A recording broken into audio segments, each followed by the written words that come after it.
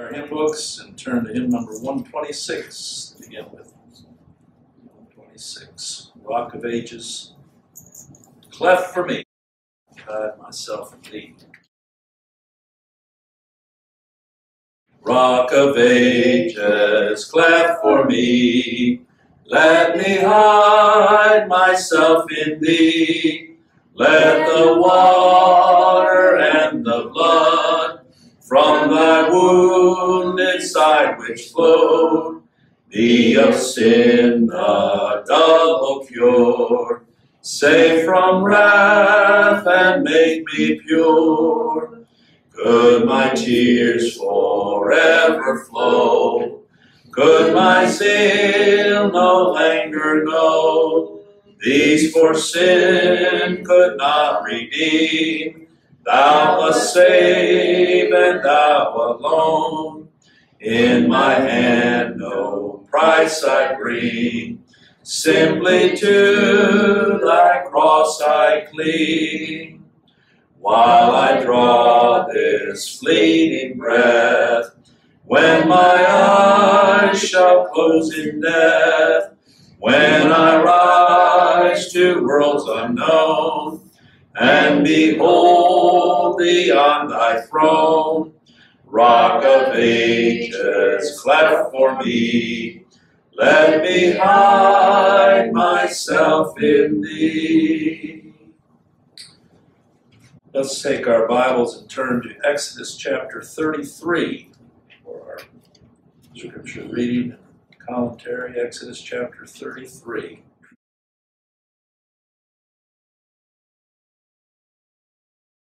And the Lord said unto Moses, Depart and go up hence, thou and the people which thou hast brought up out of the land of Egypt unto the land which I swear unto Abraham, to Isaac, and to Jacob, saying, Unto thy seed will I give it. Here we see Moses as a type of the Lord Jesus Christ leading forth the people out of Egypt, but not without the shedding of blood, the Passover lamb, with that strong hand. Here, now after all of those years, having promised to Abraham, to Isaac, and Jacob, all dead already this time, yet promised that he would raise up that seed and give them that land. People like to call that land the Holy Land, but that's not what we find in Scripture is the promised land. And what God promises, he fulfills in his time. So this is the beginning of it. And he says, I will send an angel before thee. That would be a messenger. Often, when reading the scriptures, you'll find several types of Christ. He's represented in Moses, but also this angel represents the messenger of the covenant. Says, I will send an angel before thee. This represents also the Lord Jesus Christ. Not that he was a created being in any way like the other angels, but as the archangel, the prince over the angels, the messenger of the covenant, that word angel means messenger, who would cause that everything be fulfilled exactly as God purposed. So here he says, I will drive out the Canaanite, the Amorite, the Hittite, and the Perizzite, the Hivite, and the Jebusite.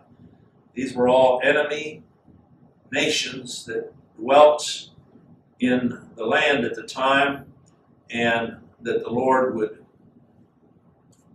remove in order for the seed of Abraham, the physical seed promise, should take that land. They're still fighting over that today. That's what all the conflict is about over there because, on the one hand, the descendants of these here, Canaanites, that still dwell there, Palestinians and others that dwell on what they call the West Bank, they still claim that that land is theirs. And yet the Lord clearly in Scripture declared that no, He would put the Jewish people in that land according to the promise of Abraham for one reason. Out of that seed, Christ should come. It's not that that land is of any significance or importance to God today because everything's been fulfilled. The only reason He continues to preserve that land today is because He promised He would. That as long as the sun rises and the moon shines, He, he said, I'll be faithful in preserving that physical seed. That's it. It's not because they're the favored sons of God any more than the Palestinians or any more than any other nation. But God promised and keeps what He promised. It's a type and picture of even what God has promised us in Christ, that there's there's no condemnation to those who are in the Lord Jesus Christ. But I will say that that natural seed of Israel today has been left to blindness, and they're as much God haters as anybody around them. When you go over there and declare unto them Jesus the Christ, the Son of God, that there's only salvation in, through, and by his perfect work of righteousness and death, they'll spit on you. In fact, they might even have you arrested because they will not, to this day, have Christ to reign over them, just as in the day when Christ was on this earth. And yet God's faithful. In spite of that hatred, in spite of that denial today, he continues to preserve them in that land. And when you look on a map and see the little sliver of land and all the enemies around, you can only say it's God that's keeping that people in that land. It's like the sea. It comes to a certain part. You think about the earth and how 78 to 90 percent of the earth is is water, and yet it comes up and then goes back. It's the Lord. So he describes it here unto a land flowing with milk and honey. Here again, it represents what we enjoy in Christ milk and honey. Each of those being a type and picture of the Lord Jesus Christ. He said, I will not go, but then he says, For I will not go up in the midst of thee, for thou art a stiff necked people, lest I consume thee in the way. He's reminding them that it's not for any goodness in them that he's doing this but because of what he's promised and his faithfulness. And it says, when the people heard these evil tidings, think about people today that aren't even aware that God's presence has been removed from them. But this particular time, when they heard these tidings, that the Lord would not go up with them, being a stiff necked people, and that He would consume them in the way, we know that he did because they wandered for 40 years in the wilderness. But when these heard this at this time, they mourned. That's not repentance. People can hear a word from the Lord of judgment and fear, but that's not repentance. Here this mourning was more of remorse. It says, No man did put on him his ornaments. In other words, all of a sudden the music stopped. And they thought that by at least showing an outward form of repentance, that somehow that would stay the hand of God. The Lord said unto Moses, Say unto the children of Israel, Ye are a stiff necked people. I will come up into the midst of thee in a moment and consume thee. Therefore now put off thy ornaments from thee, that I may know what to do unto thee. This is human language, clearly the Lord speaking, but it's language we can understand. That God has threatened, and He does and will accomplish what He purposed. The only thing that could stay His hand would be His own grace and mercy. So we see both of these represented here in this chapter God's judgment, His justice, and I know if the Lord has done a work of grace in our hearts, we'll confess that we are a stiff necked people. And that should God purpose to destroy us, he would be just in doing so. So the children of Israel stripped themselves of their ornaments by the Mount Horeb. This is where God first appeared to Moses in the burning bush or was a central location. This is where God would give his law. And as Hebrews describes it, the fiery mountain. That's what the word Horeb means. It means a bright and fiery mountain. It was also known as Sinai. Sinai from the wilderness of sin, S I N, which represented the wilderness, a dry place. Both the fiery mountain or Sinai represent God's strict justice, that he sees nothing but condemnation apart from a mediator. That's where we're going to get to. The children of Israel stripped themselves of their ornaments.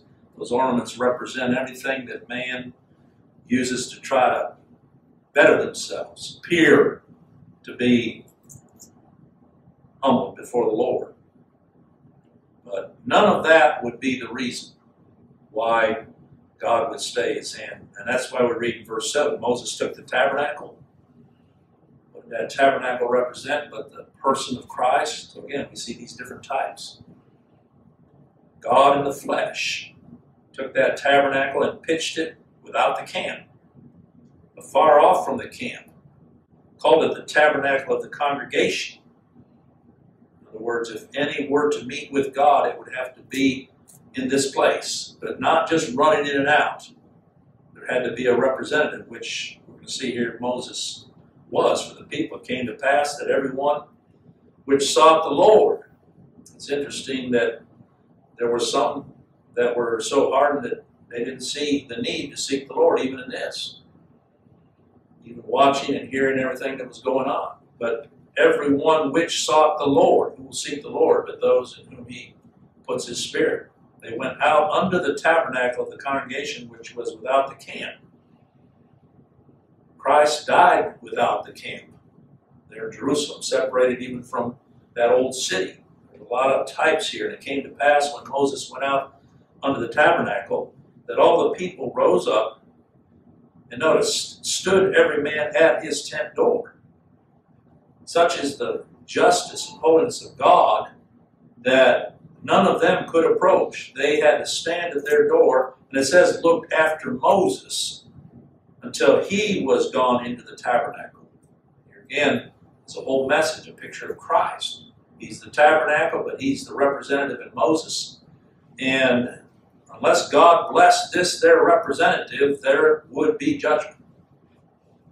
It came to pass as Moses entered into the tabernacle, the cloudy pillar descended There again is a type of Christ. Christ being that what's called the Shekinah glory. And stood at the door of the tabernacle, and the Lord talked with Moses in representation. And all the people saw the cloudy pillar stand at the tabernacle door, and all the people rose up and worshiped every man in his tent door.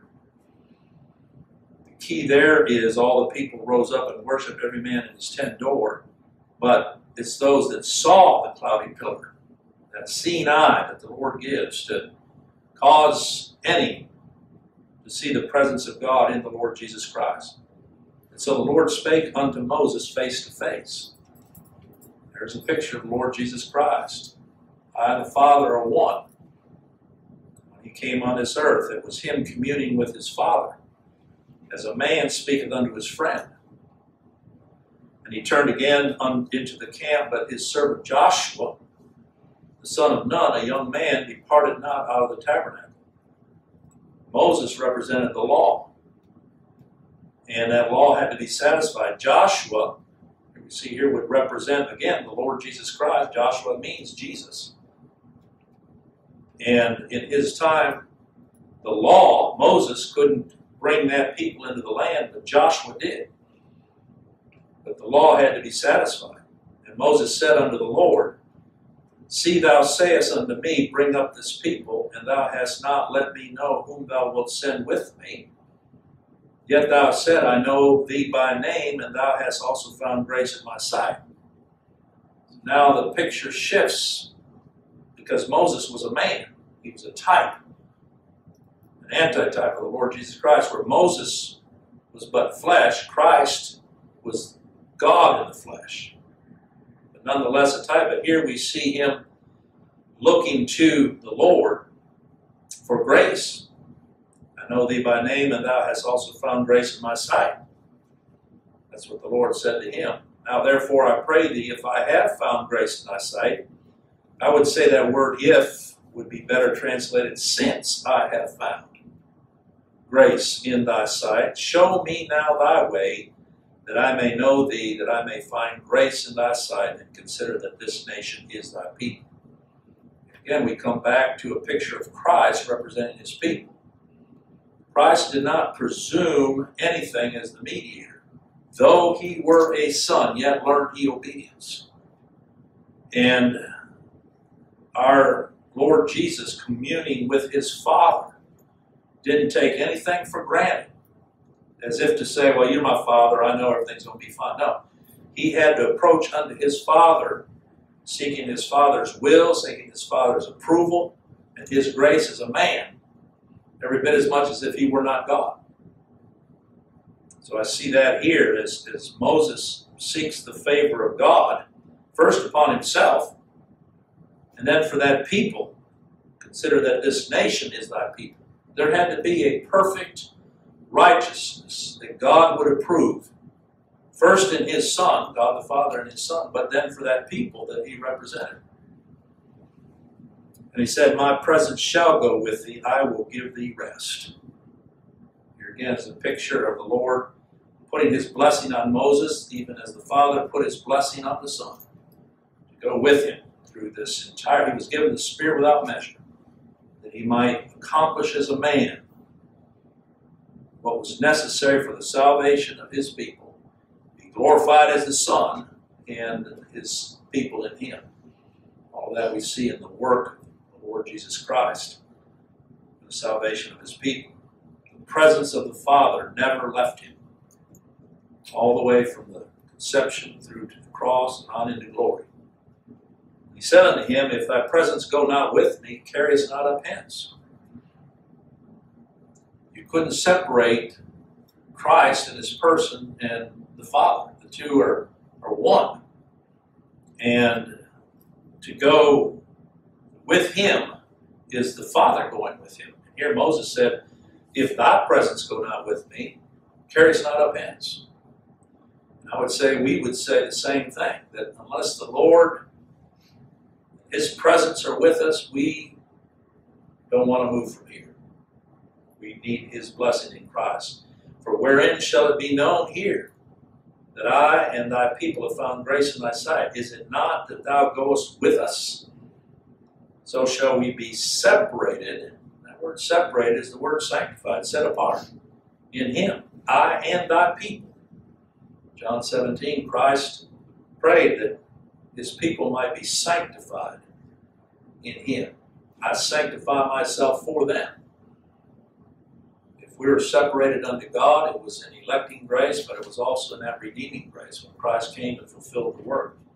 But separated from all the people that are upon the face of the earth. Think about what it means to be the Lord, separated out, sanctified unto him in our representative, the Lord Jesus Christ. The Lord said unto Moses, I will do this thing also that thou hast spoken, for thou hast found grace in my sight, and I know thee by name. Remember that the Lord Jesus Christ is God's first elect, and everybody else that God has chosen elected him. And what God does on behalf of his people, he does for Christ's sake. Otherwise, there would be no salvation and all that we receive of him is because of Christ. He said, I beseech thee, show me thy glory.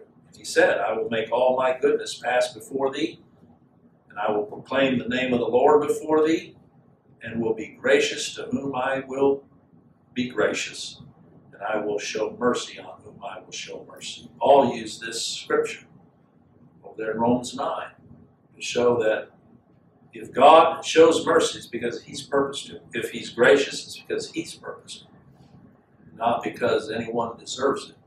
So there is a, a remnant according to the election of grace even today.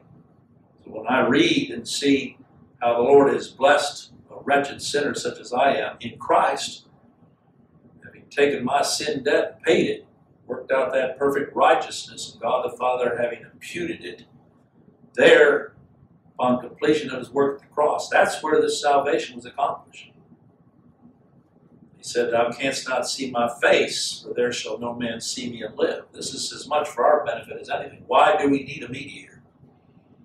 Why do we need one to represent us before a holy God? Because no man can see God and live, not in his flesh. And the Lord said, Behold, I love that word, behold, pay attention. There is a place by me, and thou shalt stand upon a rock. See, the types just keep flowing here. Moses represents Christ as a mediator, but the rock, we know, also represents the Lord Jesus Christ. And it shall come to pass while my glory passeth by that I will put thee in a clift of the rock. A clift was a carved out place in a rock. People say today where they find Mount Horeb, still down there in that Saudi Arabian desert, that you can see where this carved out cave would have been, even today in that mountain. He says, I will cover thee with my hand while I pass by. That's really what the Lord Jesus Christ has done for us. When it says pass by, pass over, condemnation didn't fall on us, but it fell on the representative. he says, I will take my hand away, and thou shalt see my back parts, but my face shall not be seen. It wasn't seen until Christ came and revealed, was revealed in the flesh and accomplishes salvation.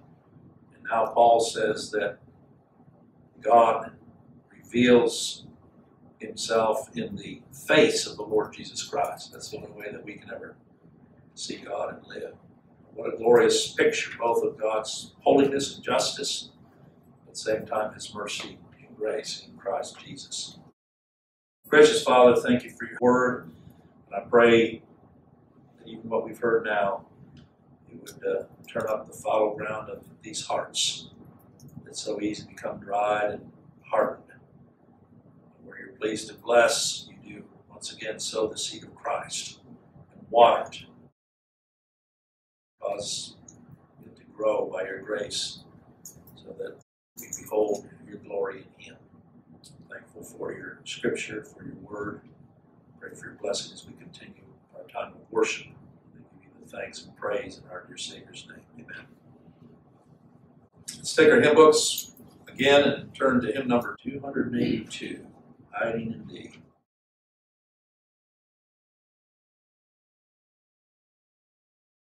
Oh, safe to the rock that is higher than I, my soul in its conflicts and sorrows would fly.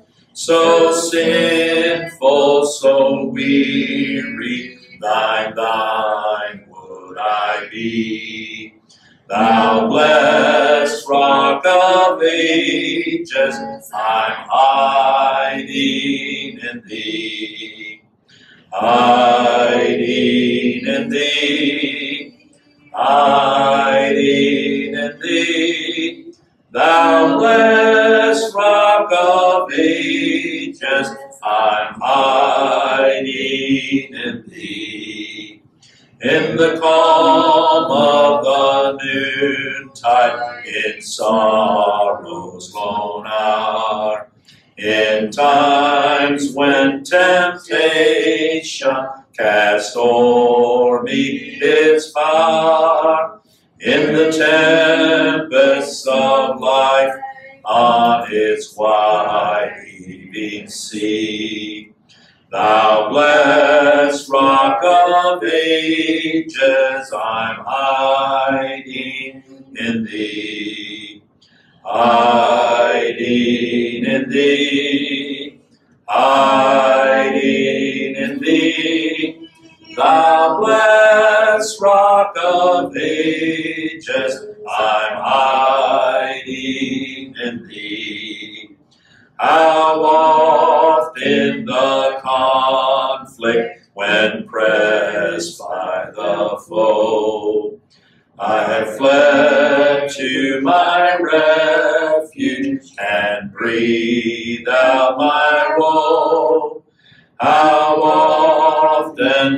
trials like sea billows roll.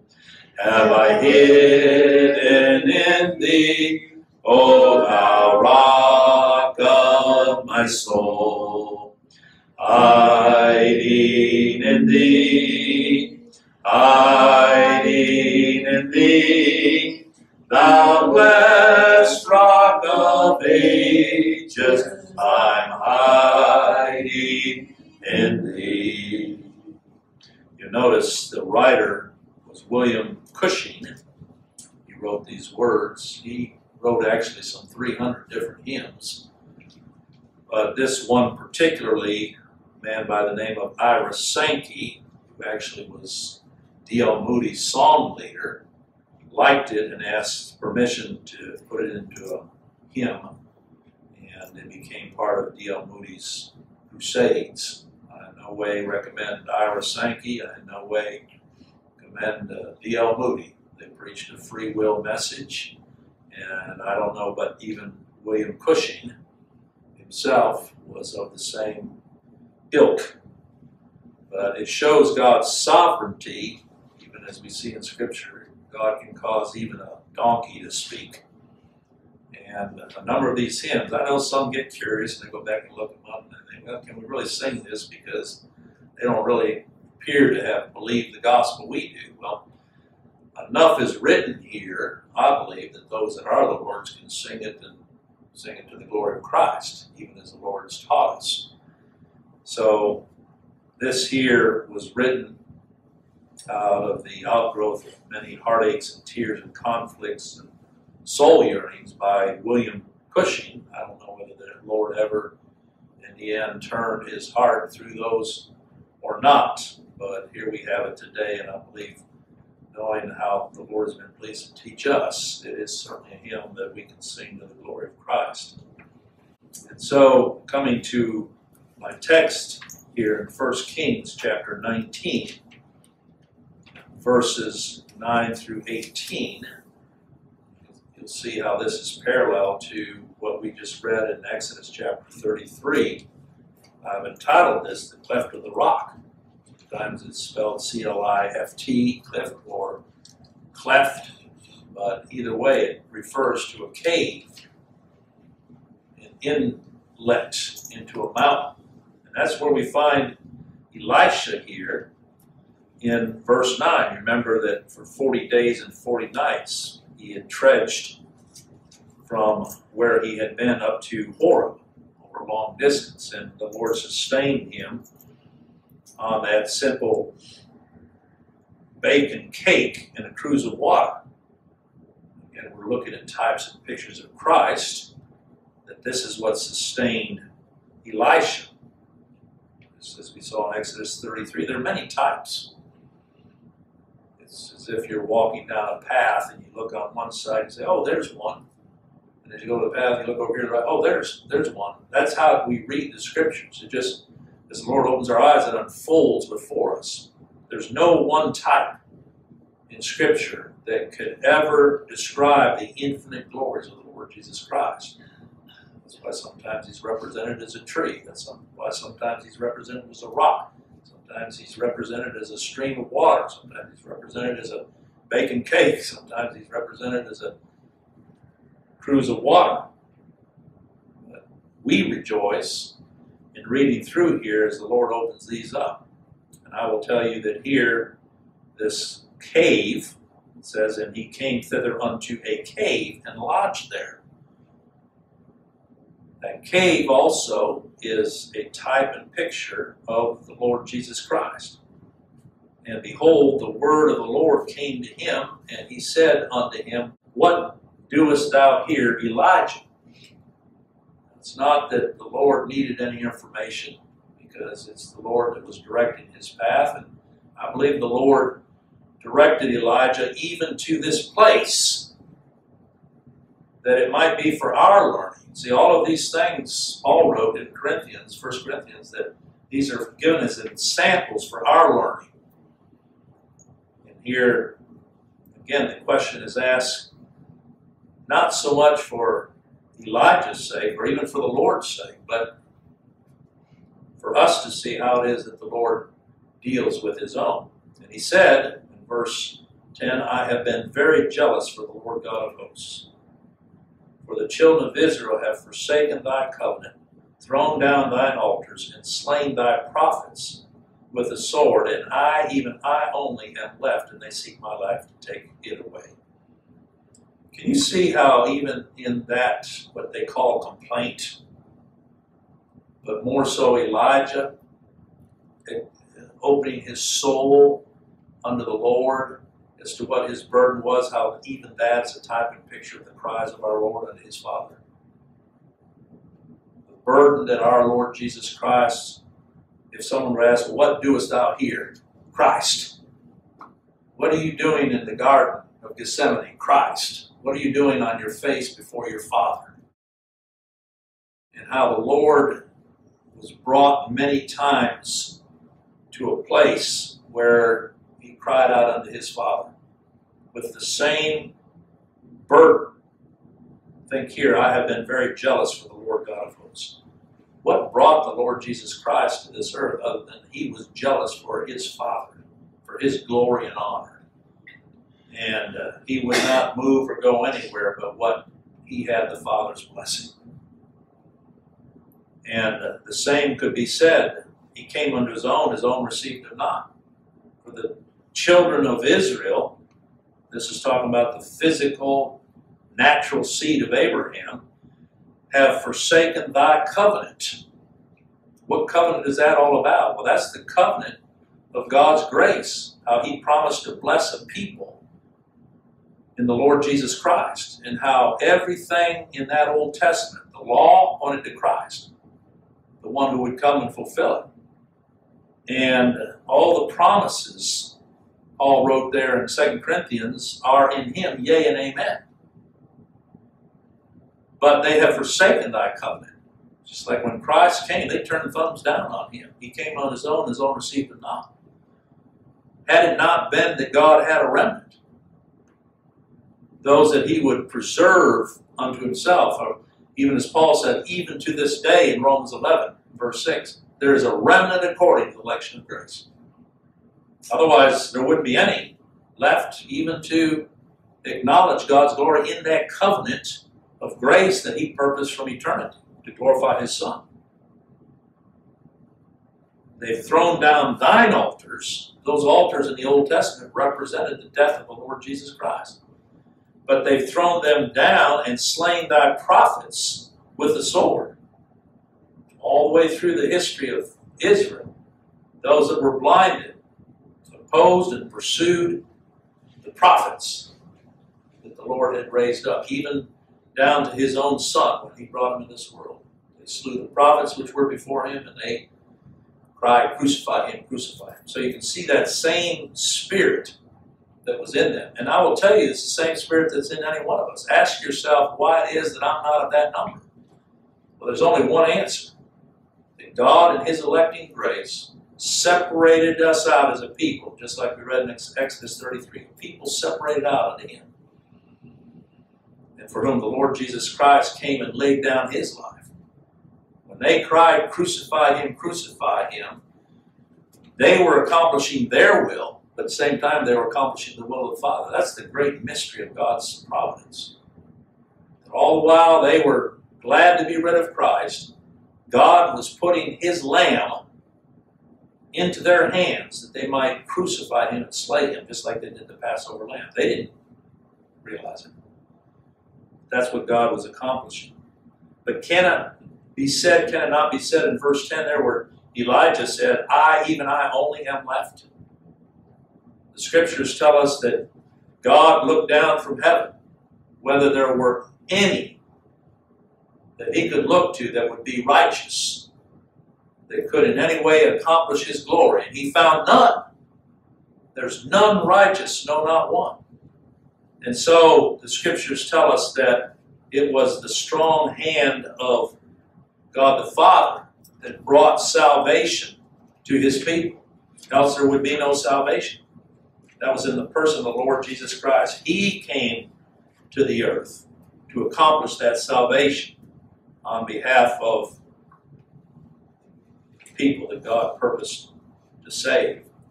And so I see even in that, I, even I only am left. Of all of mankind, there's only but one that would fulfill and accomplish the will of God the Father, and that was the Lord Jesus Christ. But even there, it could be said, as of Christ, they seek my life to take it from me, take it away. Blinded, when Christ came to this earth, they were daily pursuing his life, just like here with Elijah. That's where the Lord said unto him, verse 11, He said, Go forth and stand upon the mount before the Lord. Stand upon the mount.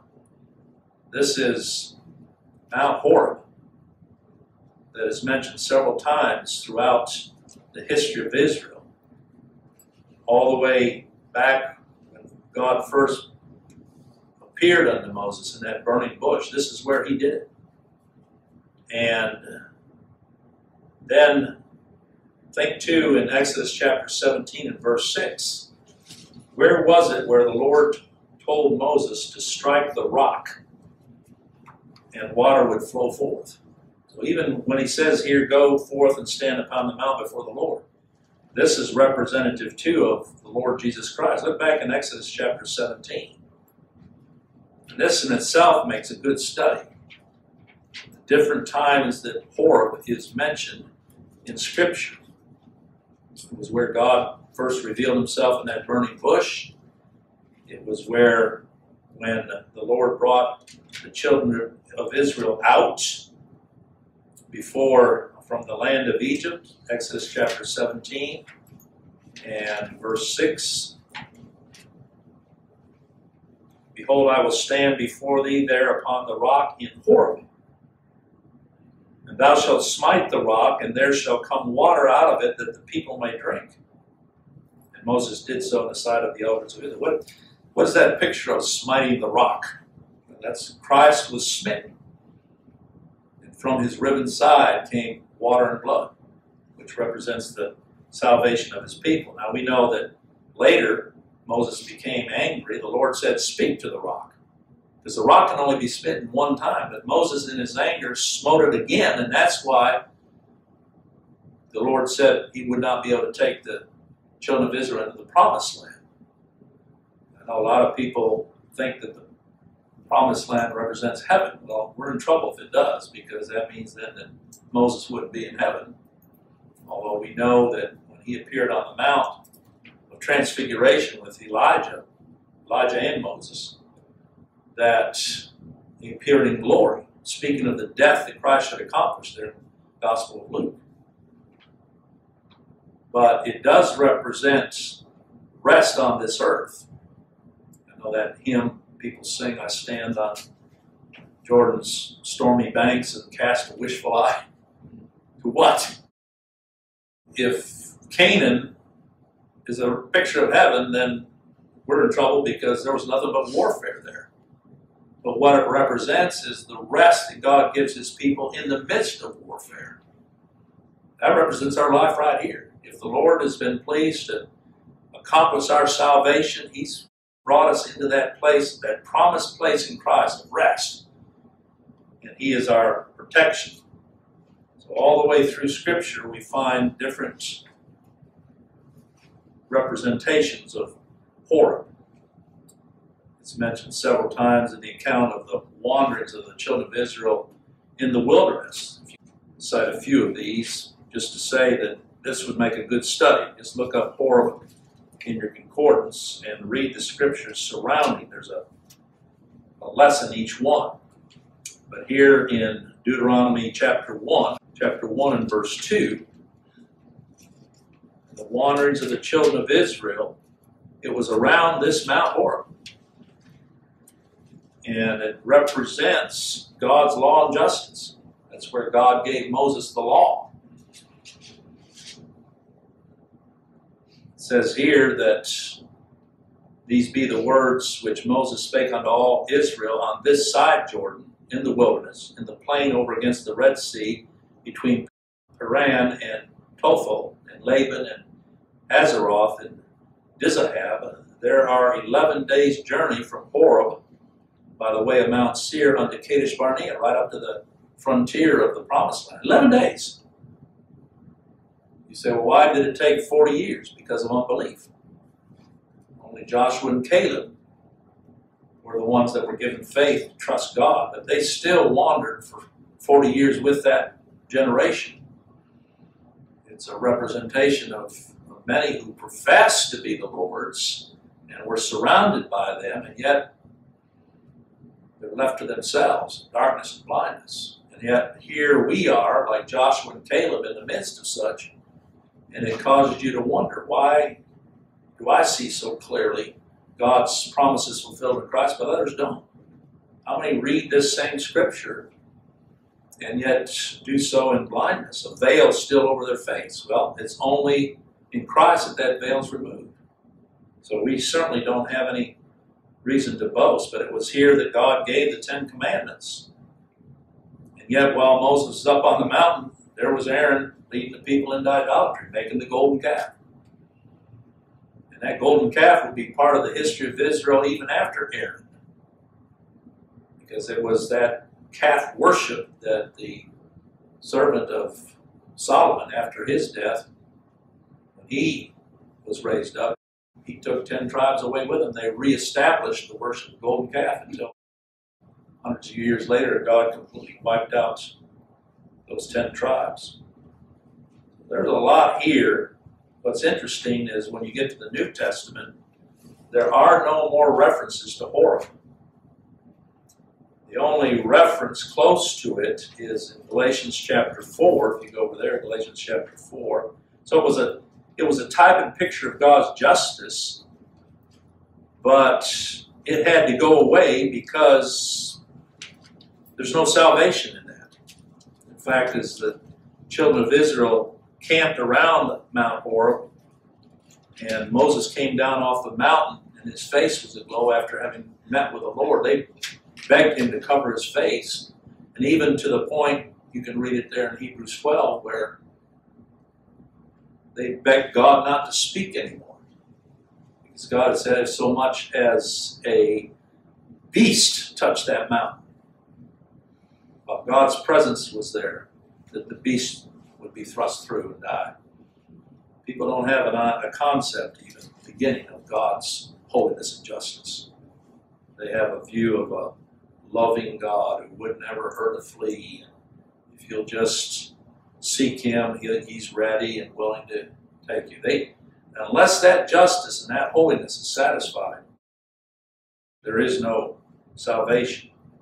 And that's how it's represented here to these Galatians, who after Paul, you can see it in verse 19 of Galatians 4, had gone through and preached. Galatia is an entire region. It's what we know as Asia Minor today, or Turkey Turkey exists uh, today. But he reminds them in verse 19, because there were these Judaizers, these lawmongers, worksmongers coming back behind him and trying to turn away those that the Lord had turned to Christ by his grace. And he said, My little children, verse 19, of whom I travail in birth again until Christ be formed in you. I desire to be present with you now and to change my voice, for I stand in doubt of you one thing for one to say they're looking to Christ alone for salvation, but now they begin to look away, look back to the works of the flesh.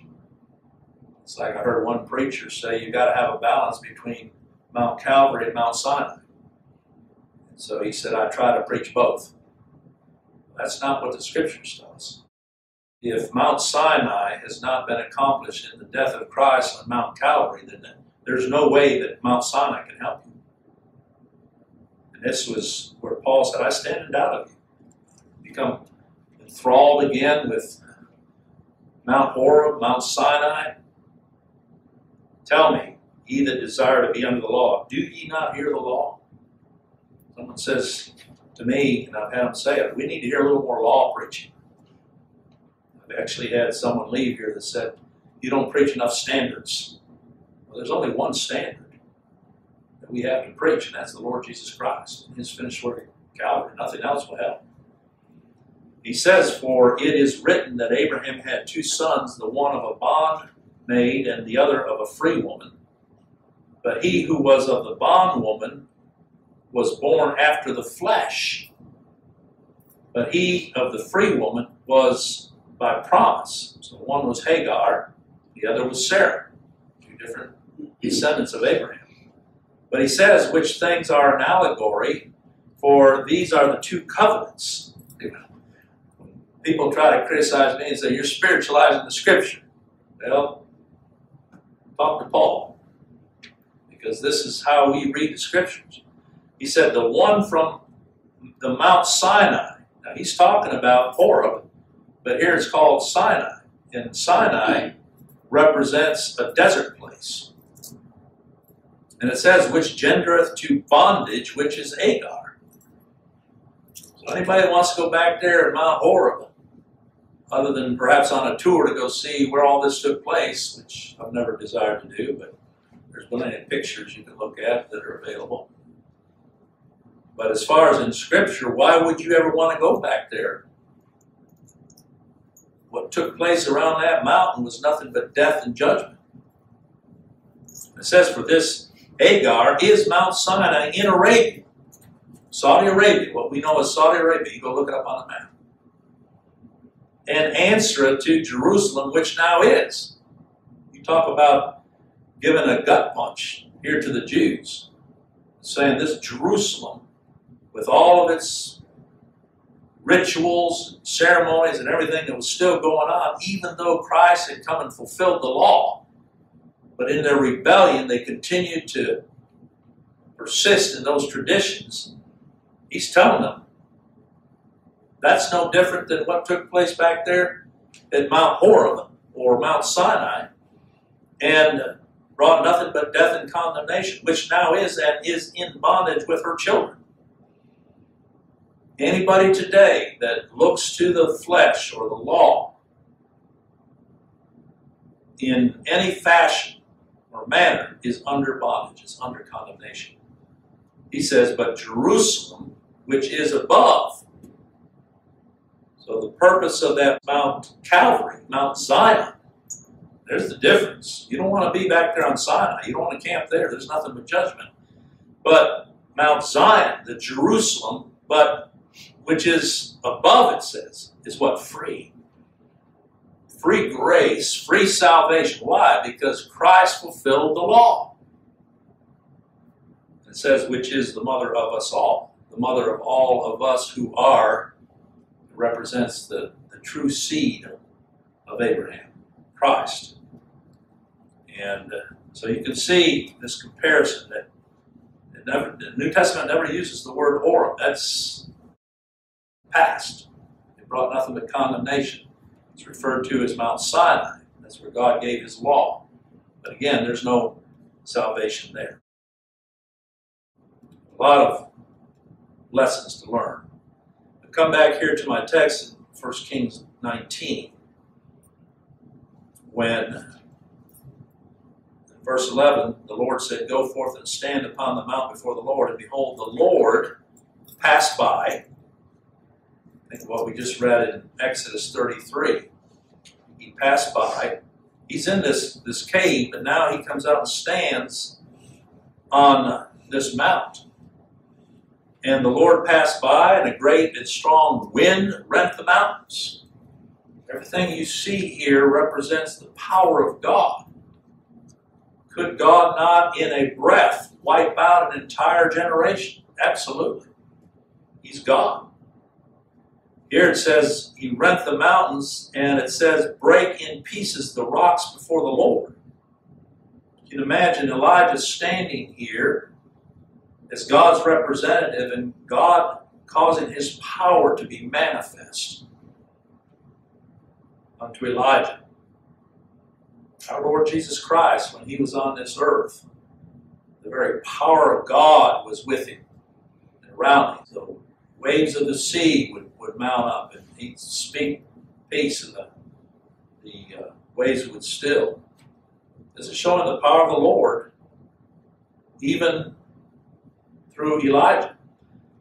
But the Lord was not in the wind. When it says not in the wind, it doesn't mean that this was happening outside of the Lord ordaining it, but what God purposed to do to speak to Elijah was not in that wind, and after the wind, an earthquake, but the Lord was not in the earthquake. After the earthquake, a fire, but the Lord was not in the fire. And after the fire, what? A still small voice. Isaiah wrote about the Lord Jesus Christ, if you want to look with me over there in Isaiah chapter 42.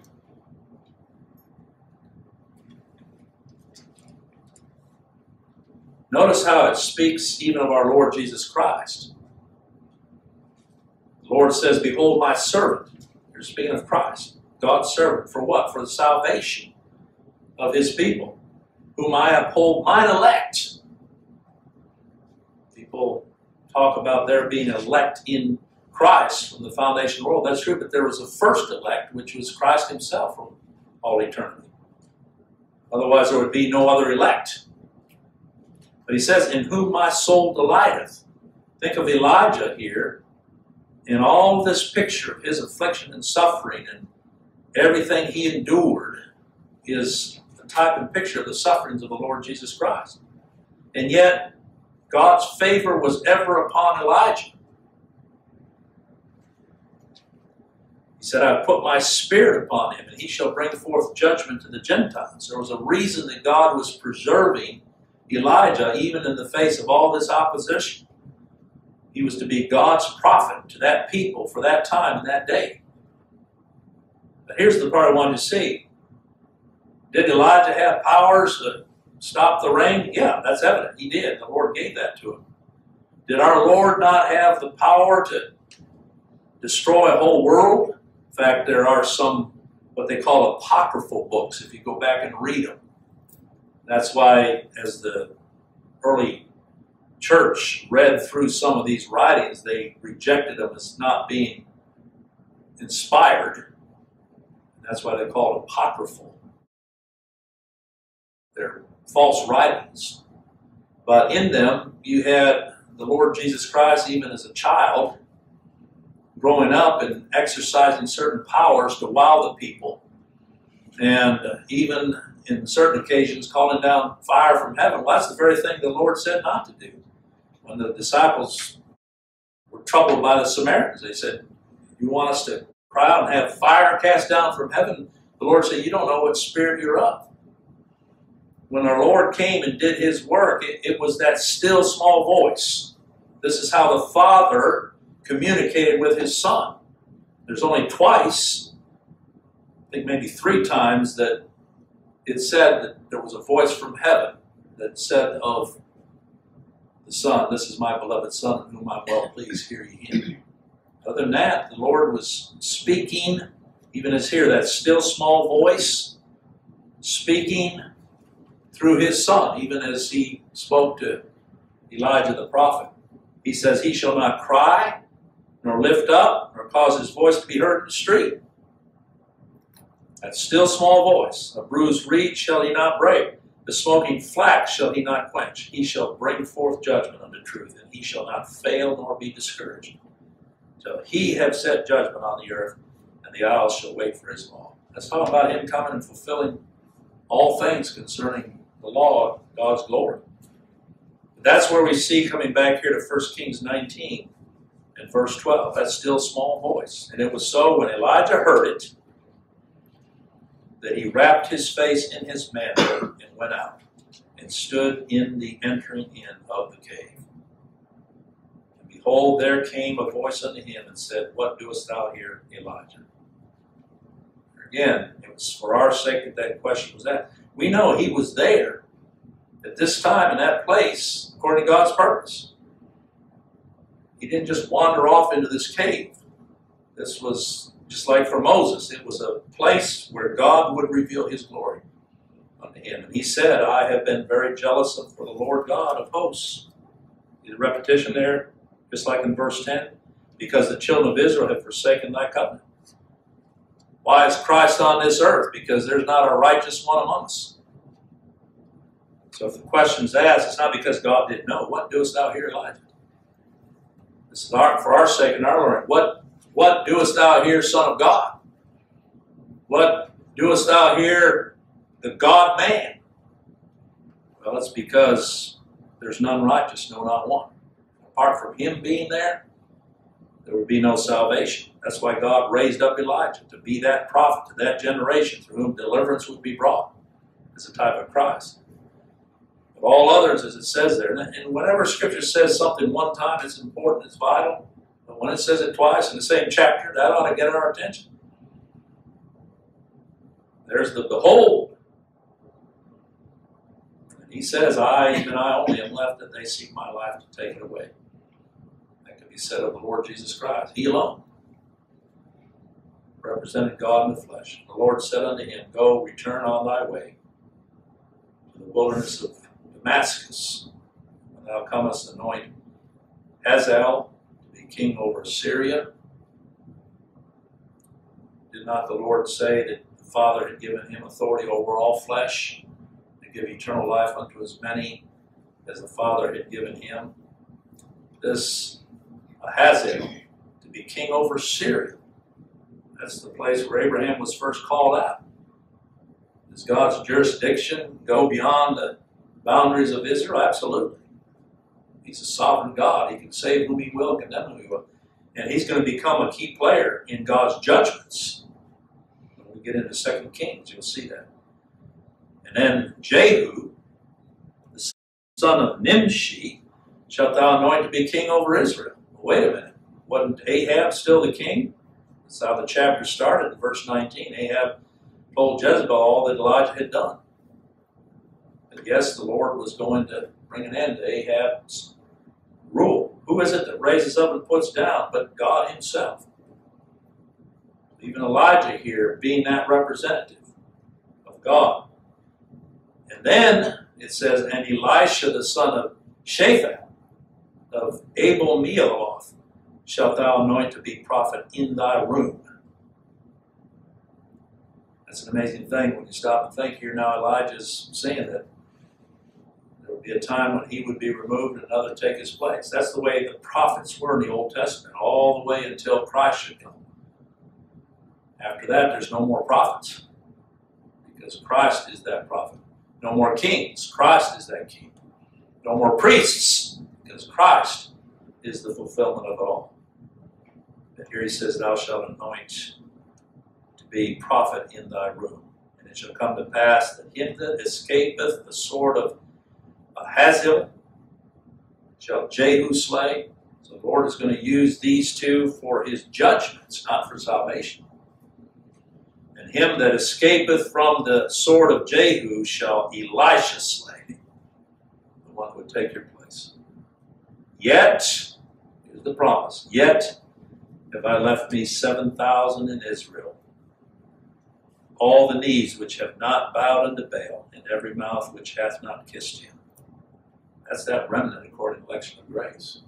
So in judgment, there's still mercy. I'm thankful it's that way. But that mercy and grace is in Christ alone. A lot there.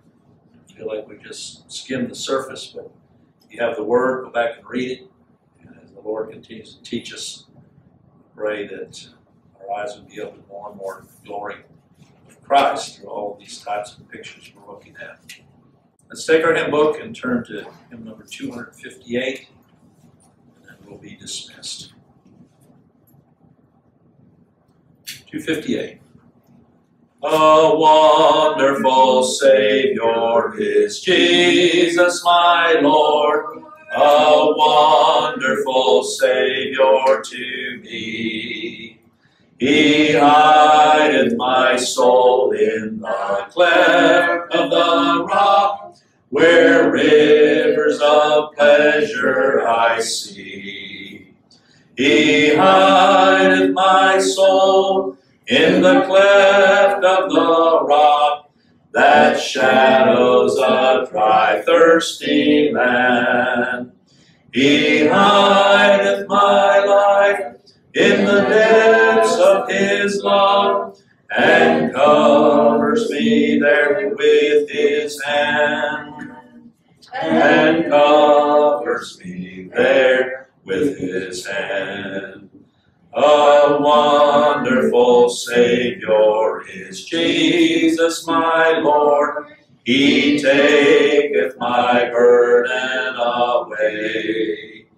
He holdeth me up, and I shall not be moved. He giveth me strength as my day. He hideth my soul in the cleft of the rock that shadows a dry, thirsty land. He hideth my life in the depths of his love and covers me there with his hand and covers me there with his hand with numberless blessings each moment he crowns and filled with his fullness divine I sing in my rapture, O glory to God, for such a Redeemer as mine. He hideth my soul in the cleft of the rock that shadows a dry, thirsty land. He hideth my life in the depths of his love and covers me there with his hand and covers me there with his hand when clothed in his brightness transported i rise to meet him in clouds of the sky his perfect salvation, His wonderful love, I'll shout with the millions on high.